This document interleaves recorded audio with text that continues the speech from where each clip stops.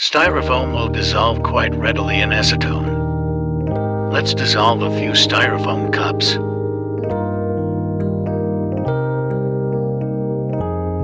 As these dissolve, they form a gelatinous substance similar to napalm. That said, do not do this at home.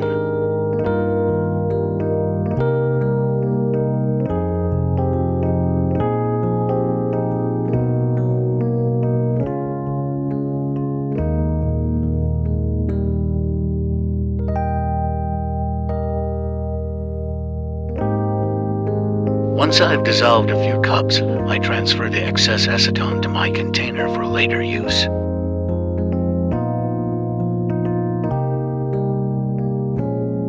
Here is what remains of my cups. It's very sticky.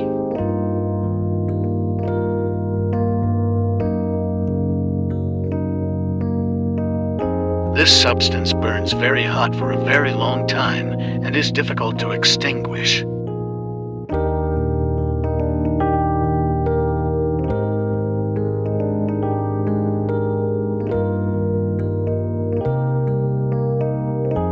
This will continue burning for 10 minutes, so I didn't record the whole thing.